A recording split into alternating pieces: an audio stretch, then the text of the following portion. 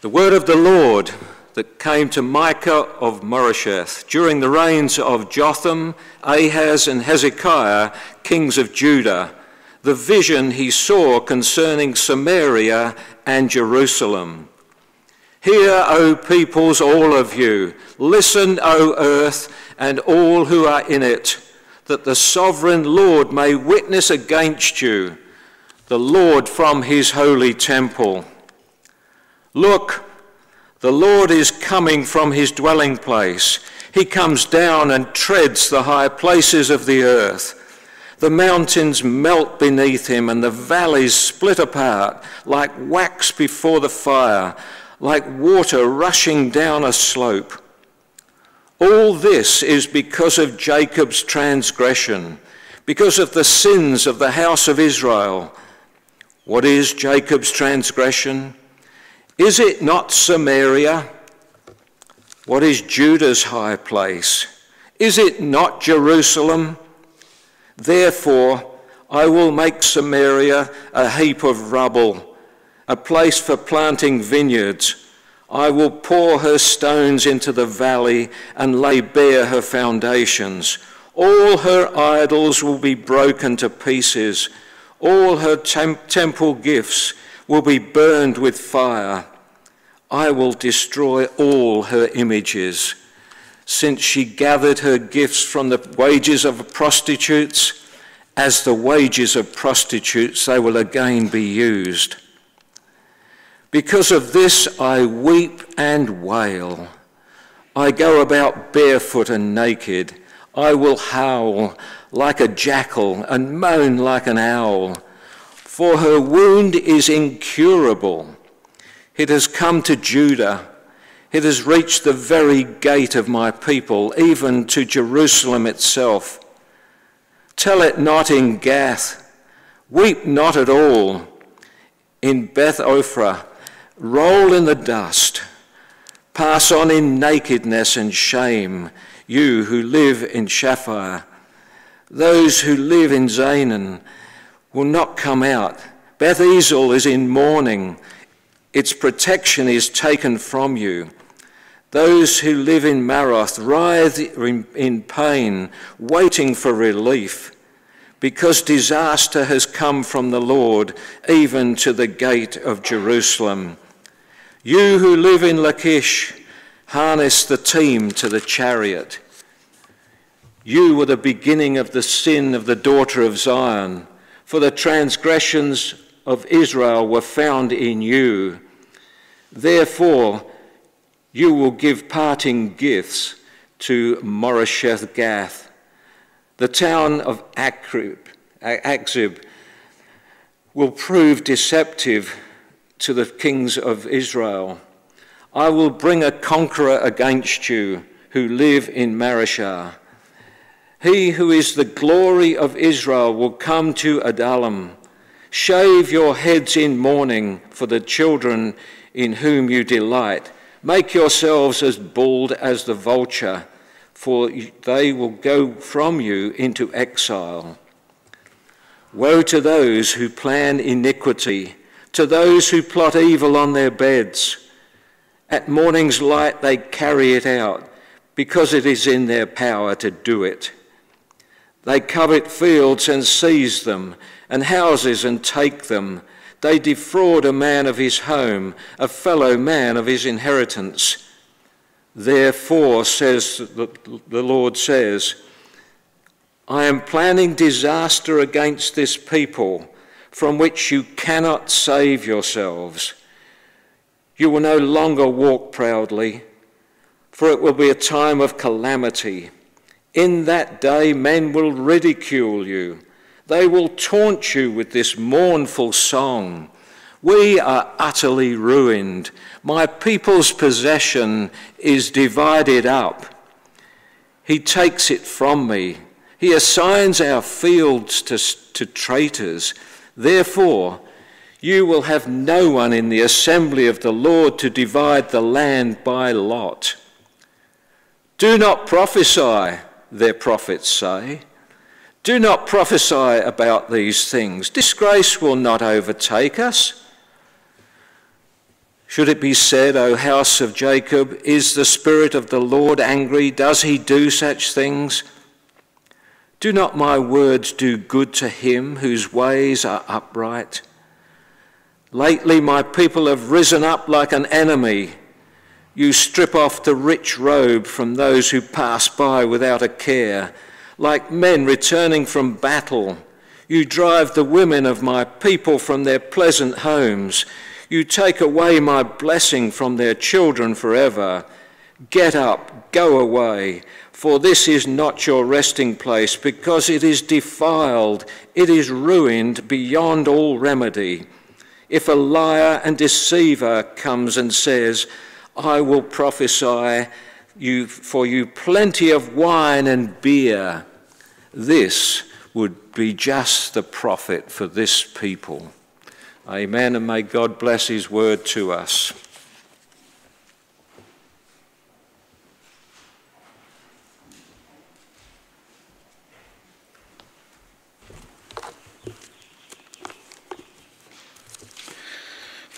Thank you, Derek. Well, it is a longer reading this morning, but you do get a sense of the, uh, the righteous indignation of the Lord so let's pray as we come to this passage. Our gracious Heavenly Father, we recognise that in your holiness you do not tolerate sin.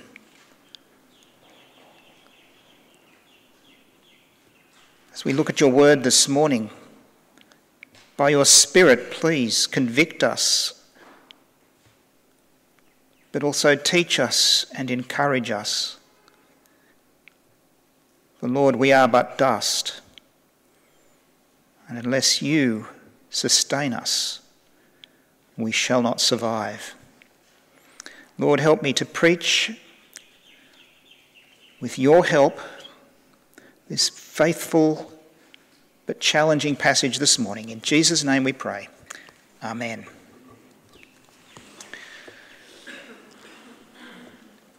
Perched like an eagle's nest on the edge of a coastal mountain range, nearly a thousand metres above sea level, you can still find the ancient ruins of a town, if we can take that back, thanks Lisa, of a town called Moresheth Gath.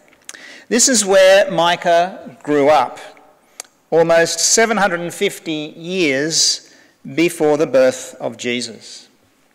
Moresheth is a beautiful place. It's blessed with fertile soil, fast running streams, and a fantastic view of the coastal plains down along the Mediterranean Sea. It was Jerusalem's eye in the sky. And if you could stand in Micah's place today, you would see spread out below you fields of barley and wheat and olives and grapes, crops that were grown down in the plains to feed the people of Jerusalem. It must have been an interesting place to live, a market city bustling with farmers and merchants and traders and priests and bureaucrats and soldiers too, because Moresheth was also a military town. See, there weren't very many roads that ran up from the sea to the city in those days, but the road through Moresheth was one of them. So troops had long been stationed there to keep watch over the whole region. And in Micah's day, there had been peace. For King Uzziah had ruled in Jerusalem for 52 years, the longest reign of any king in Israel or Judah. Not since the days of King Solomon had the nation had it so good. But all that was about to change. For the people had fallen into a deep spiritual malaise. Jerusalem and Samaria had become bywords for oppression. And now King Uzziah had died, the king of Jerusalem and Judah. And Jotham, his son, was crowned king in his place. This was the year 742 BC. And this was when the Spirit of the Lord really began to move in the land. First, in the year that King Uzziah died, 742 BC, Isaiah began to prophesy in Jerusalem. And then just down the road in Moresheth, Micah too was about to receive his calling from the Lord, as we see in chapter 1, verse 1. the word of the Lord that came to Micah of Moresheth during the reigns of Jotham, Ahaz, and Hezekiah, kings of Judah.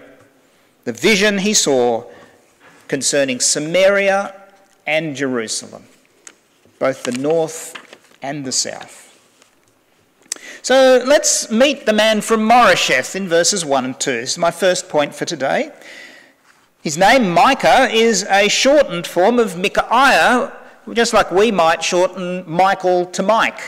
So Micaiah is shortened to Micah. And Micaiah or Micah literally means who is like the Lord. It's a whole sentence in a name. Who is like the Lord? And since we know that this was a time of apostasy and backsliding, I think Micah's name is very significant.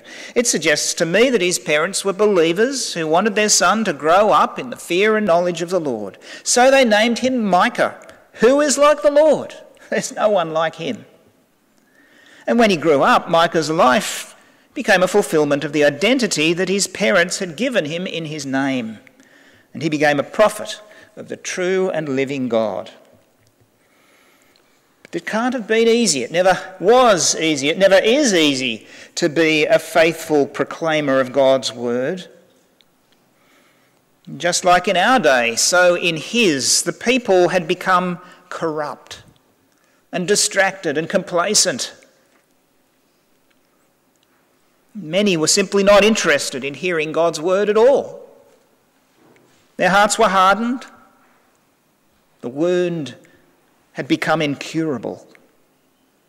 In fact, Micah says, and I chose this last verse as the finishing point for our reading this morning, chapter 2, verse 11. If a liar and deceiver comes to you and says, I will prophesy for you plenty of wine and beer, he would be just the prophet for this people. Sounds like Australia, doesn't it? A prophet of wine and beer.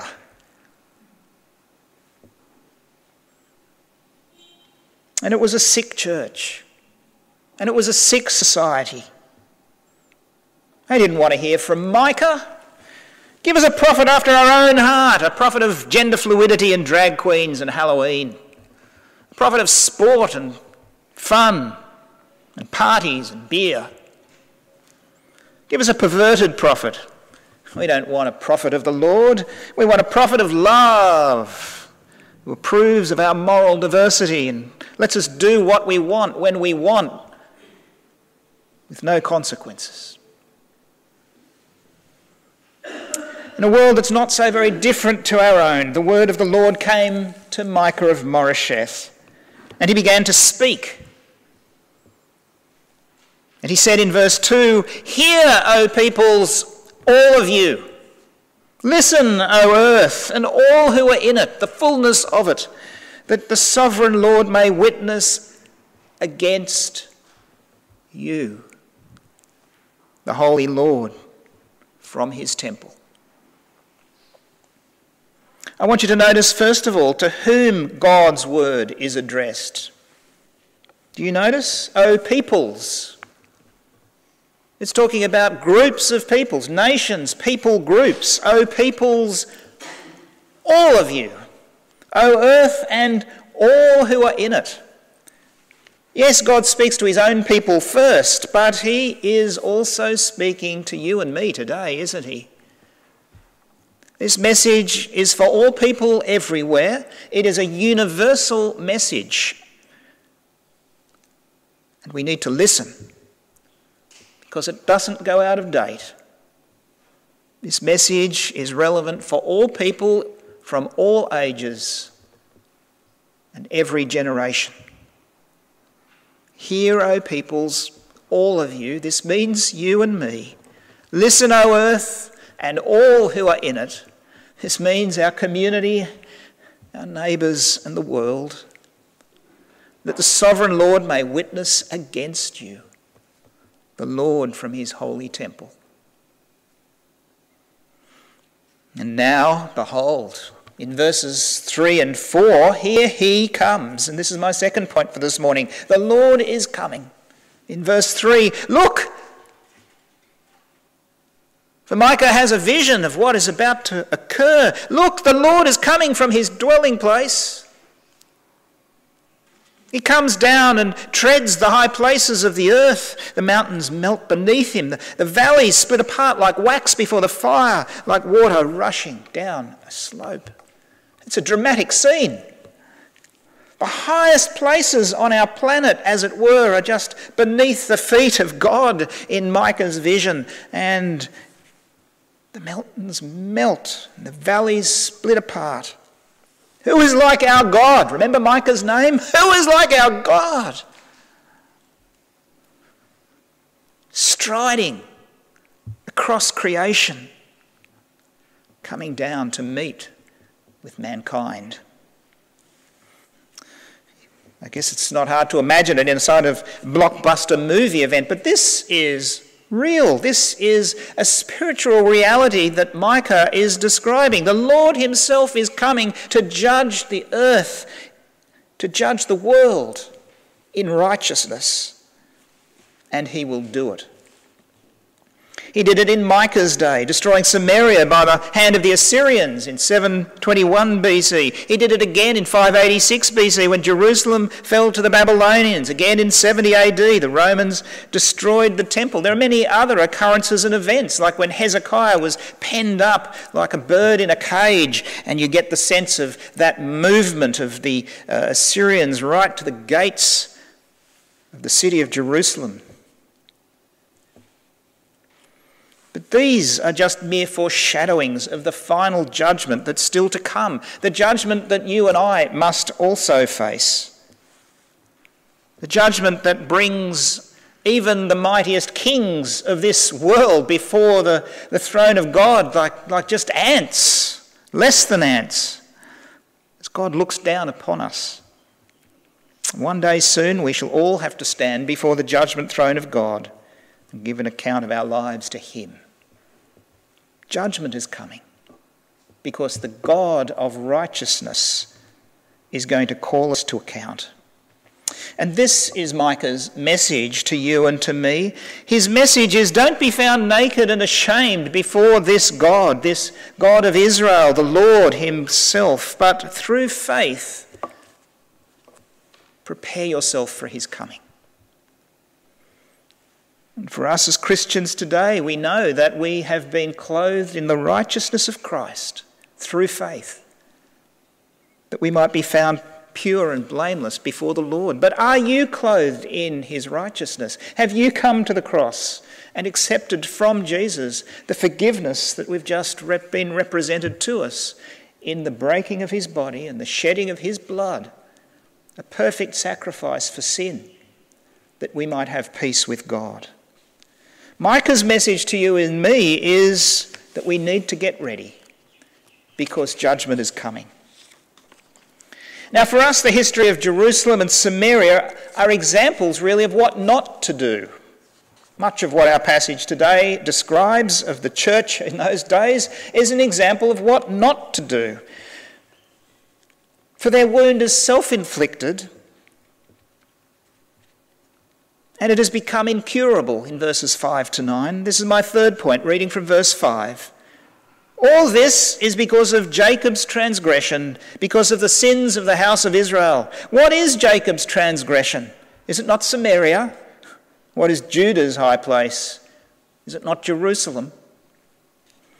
And Micah can see the truth. He can see it because God has made it clear to him. He has read the signs of the times in which he lives.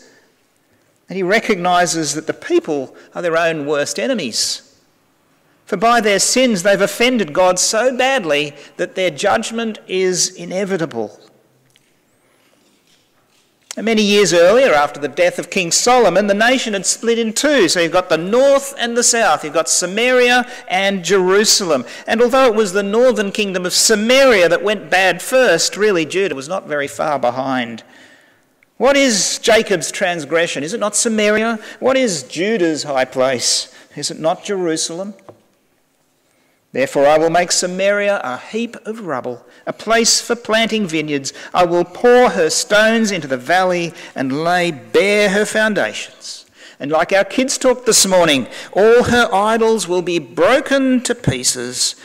All her temple gifts will be burned with fire. I will destroy all her images.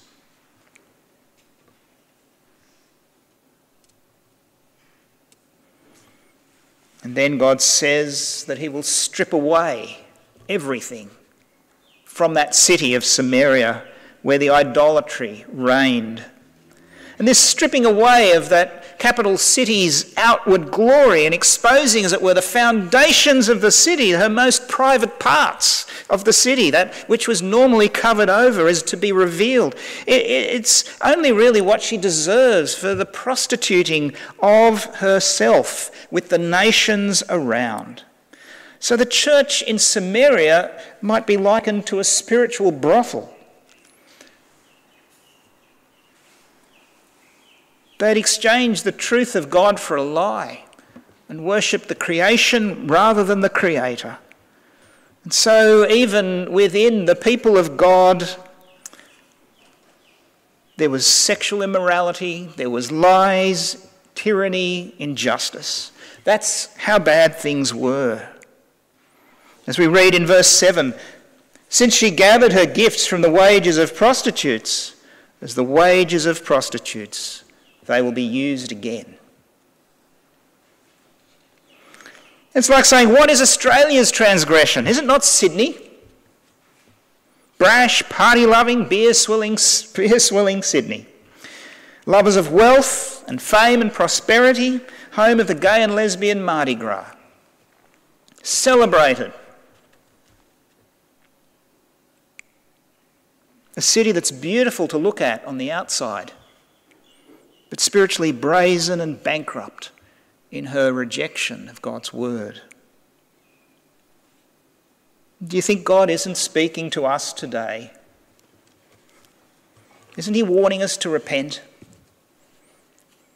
Isn't He urging us, even as His people, to renew our first love for Him? He's reminding us about the very wrath of God that is being poured out and is about to be poured out, even in our own time. Now, I'm not a prophet, but as I look at the world around me, I do think that we are in some very hard times just around the corner. You've seen the news about the expected rise in electricity prices. 50 to 80% increases in electricity prices just around the corner. Costs of mortgages going up. Westpac represents expected 8.5%. That'll be four times what the mortgage rate was just a year ago. Cost of living, the difficulty of acquiring food. We may be facing very unexpected challenges in comfortable Sydney before the year is out. There are rumours that China is ready to take Taiwan within the next 12 months. We may no longer just be looking at war in Ukraine, but war in the Pacific. Are we ready as God's people?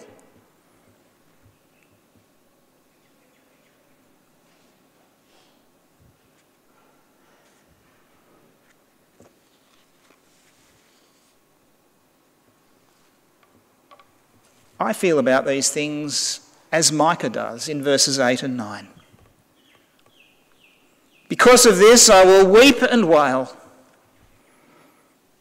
I may not do what he does, I'll go about barefoot and naked.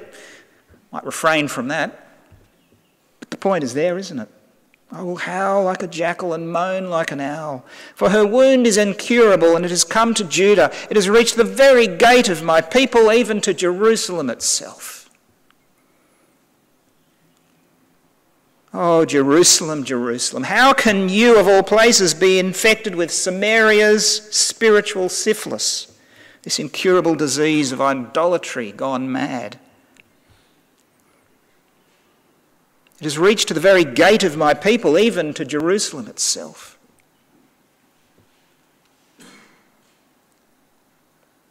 The ugliness of sin needs to be confronted. So I've got a picture up there for you to look at, a picture of syphilis.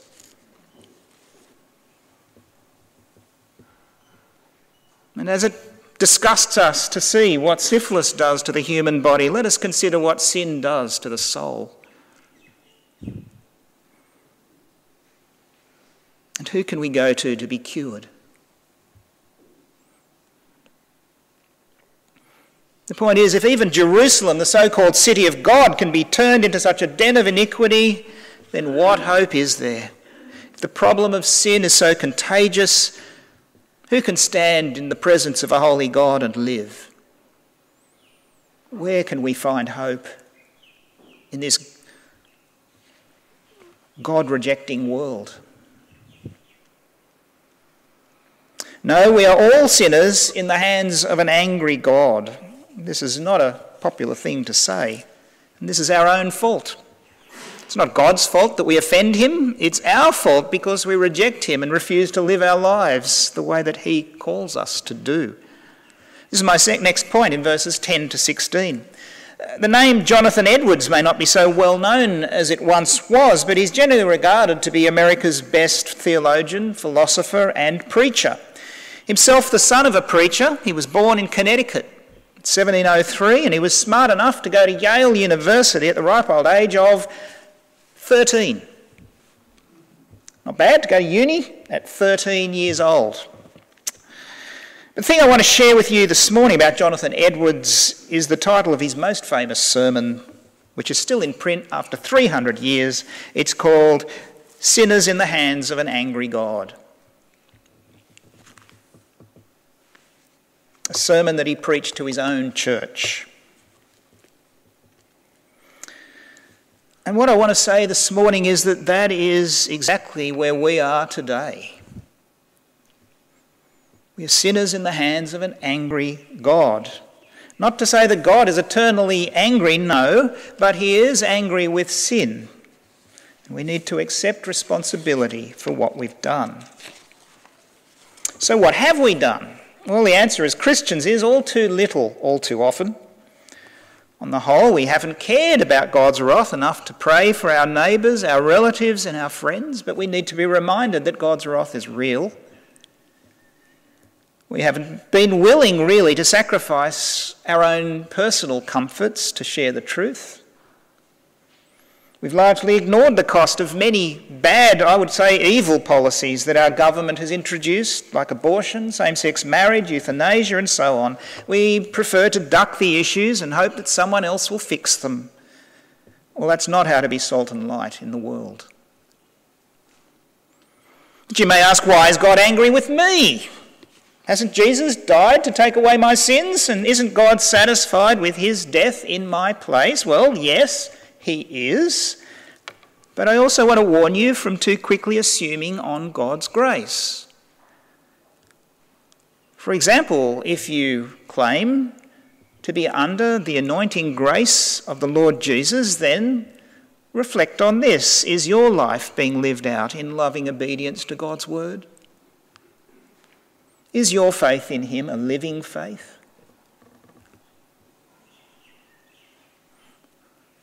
Remember this warning of God to sinners. It is nothing but God's mere pleasure that keeps you from being this moment swallowed up into everlasting destruction. If we live, it is because of God's grace.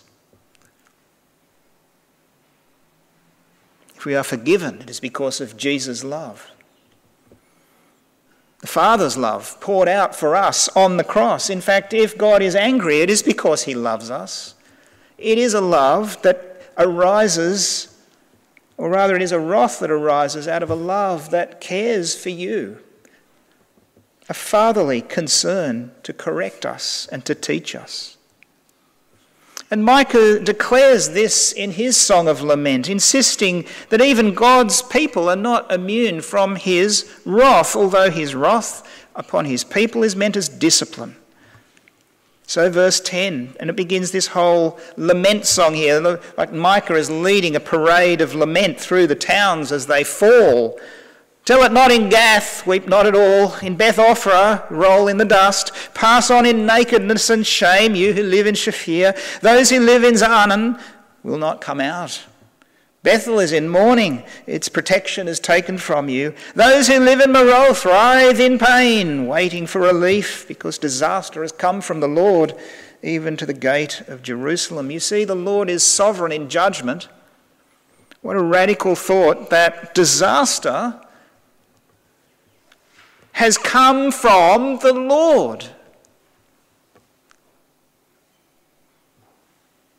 Even to the gate of Jerusalem. And each name, each place name here becomes a sign of judgment on the people who live there. It's very clever how Micah does this, so that Beth Ophrah, Beth Ophrah, the house of dust, is the place where they will roll in the dust. If I was to use Australian place names, it'd be like saying something like Manly will be unmanned. Tweed heads will be torn to shreds. You know, tweed's a fabric, it's torn to shreds. Tamless, Tamworth will be worthless. And that's what Micah is saying. He's seeing the progress of the invading armies, the judgment of God coming through the towns, and he's calling them to repentance.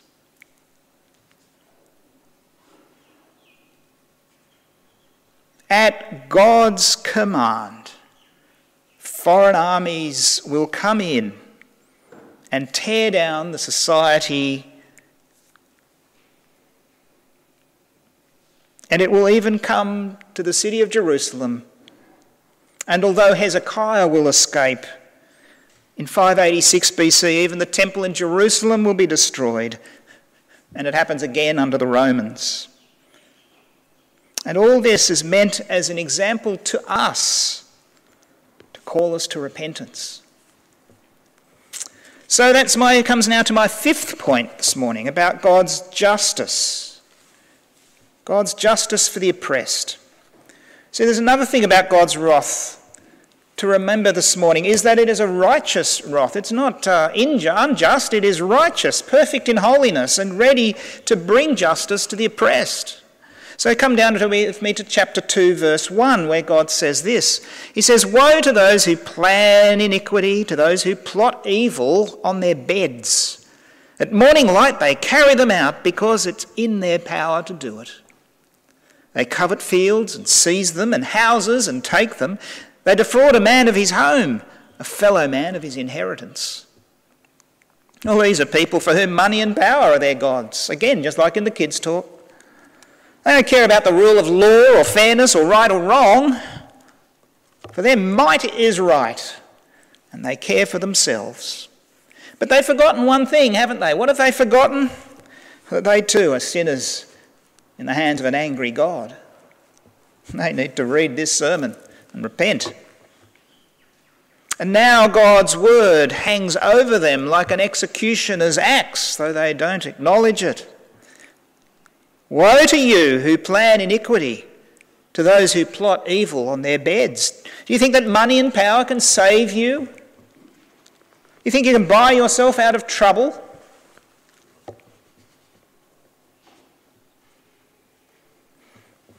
No, I tell you, I've weighed you in my scales and I've found you wanting.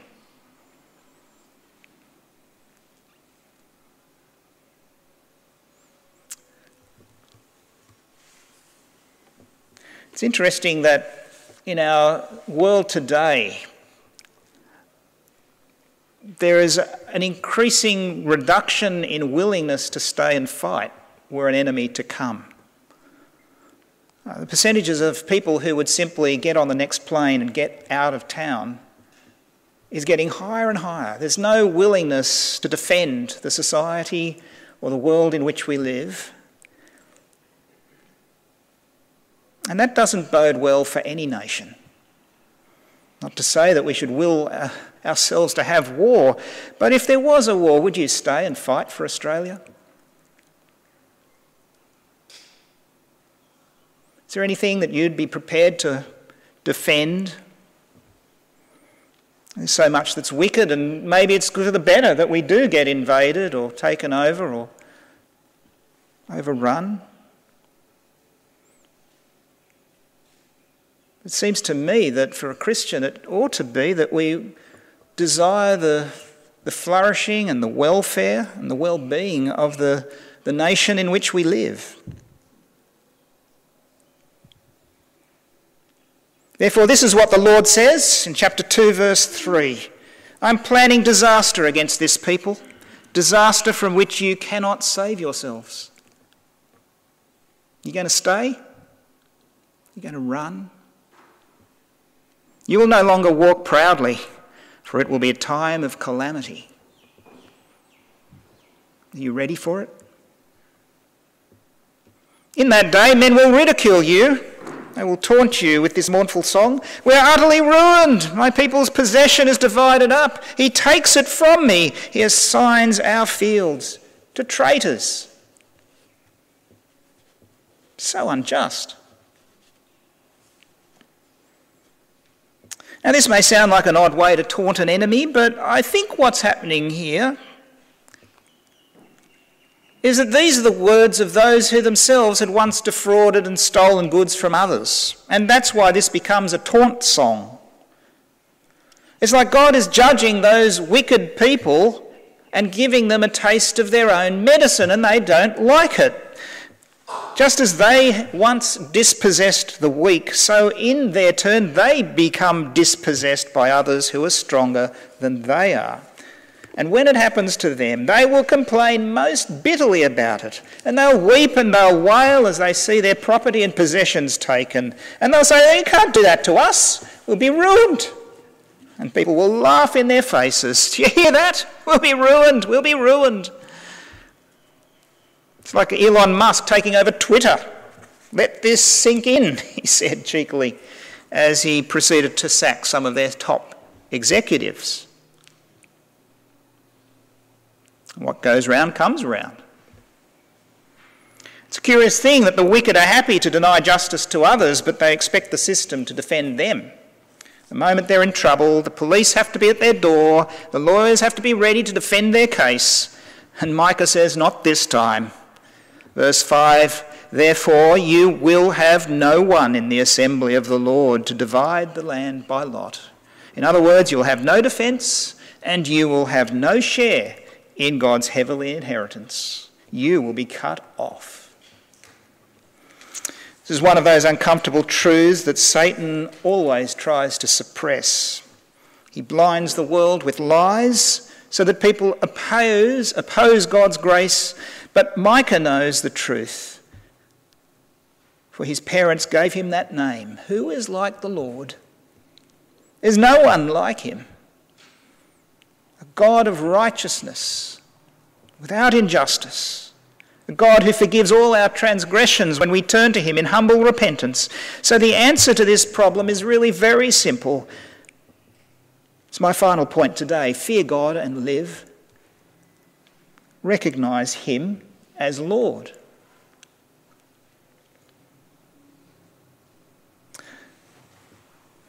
Now, this message is rejected by some.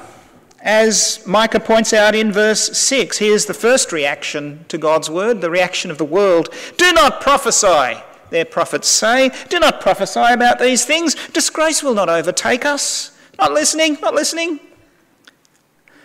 It's a quotation by Micah of the things the false prophets say. But now here's the truth with a capital T, verse 7. Should it be said, O house of Jacob, is the Spirit of the Lord angry? Does he do such things? Do not my words do good to him whose ways are upright? I think this is the key verse in the whole passage, actually. Do not my words do good to him whose way is upright?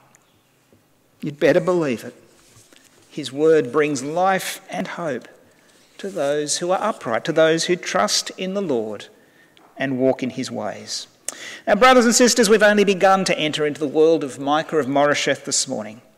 But we've begun to get a sense of his devotion and love for the Lord and for the people Though they be in rebellion against God, he grieves and mourns over it, and he longs to see them come to repentance and faith.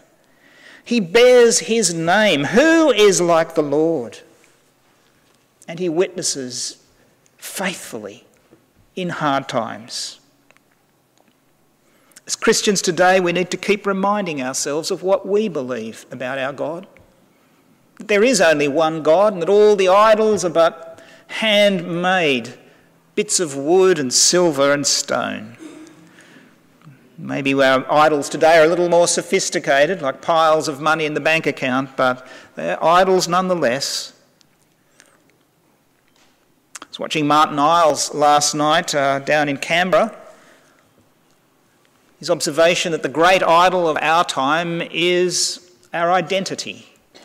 We reject the identity given to us by God and we try to create our own identity, our own gender, our own take on the world. And where there used to be blasphemy, speaking out against God, now we have hate speech, which is an attack on the God that we've created for ourselves, the identity that cannot be challenged. It was an interesting thought. Well, as Christians, we need to remind ourselves of what we believe about God because it's only as we understand that that we understand our place in His world. And let it not be said of us what was said of the people in the last part of our passage today. Can you imagine being so compromised by sin that you became just like the world around you and indistinguishable from it? Imagine a church where people were lovers of themselves rather than lovers of God, not willing to speak up on anything that might affect their careers or bank accounts. Look at verse 8. Let us not be like this. Lately, my people have risen up like an enemy. You strip off the rich robe of those who pass by without a care, like men returning from battle. You drive the women of my people from their pleasant homes. You take away my blessing from their children forever. Get up! Go away! For this is not your resting place, because it is defiled. It is ruined beyond all remedy. If a liar and deceiver comes and says, I will prophesy for you plenty of wine and beer, he would be just the prophet for this people. Let us not be like that today. The temptation is always there, but rather let us fear God this morning that we might not die in our sins. Let us be quick to confess that we are indeed sinners, worthy of God's judgment. The only reason why we're not plunged into hell this very moment is because of the mercy and grace of our Lord Jesus Christ. Let us learn from the mistakes of God's people in the past and not repeat them. Let us remember our first love and turn back in repentance and faith to Jesus.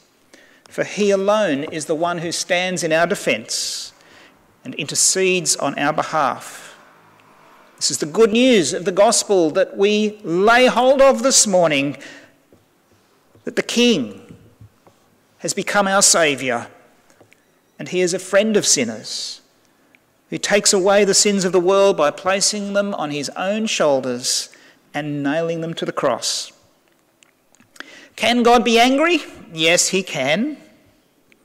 But today's passage reminds us that in Christ, God takes His own wrath upon Himself and thereby opens a new and living way for us to come into the presence of our loving God and Heavenly Father. Do not my words do good to him whose ways are upright? Yes, indeed they do. Therefore, who is like the Lord? There is no one like him. Let's pray. Heavenly Father, it's been challenging this morning to consider the word of Micah, for it is a word of judgment even upon your own people. And in our hearts we quail because we know our own unworthiness, but also we rejoice because you have not left us without hope in this world, but came to us in the person of Jesus, that we might have peace with you. Lord, help us to claim that promise and to stand on the rock that is immovable and true Keep us from temptation and complacency and sin, and help us to shine for you until Christ returns. We pray this in Jesus' name. Amen.